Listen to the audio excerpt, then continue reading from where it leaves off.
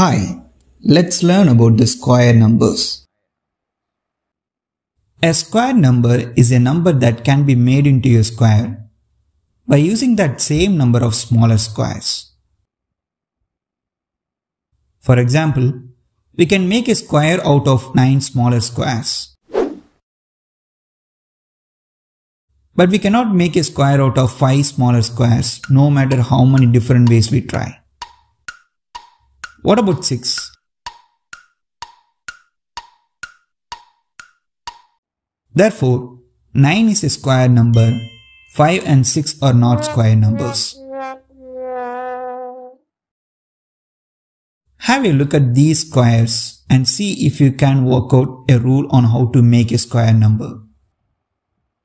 Well, to make a square number all we have to do is multiply a number by itself.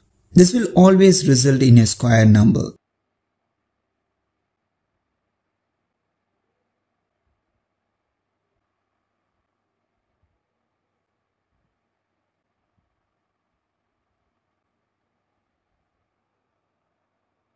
We can represent the process of squaring a number by using the power of 2.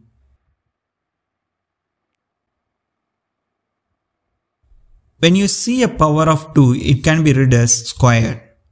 For example, 5 times 5 can be read as 5 squared.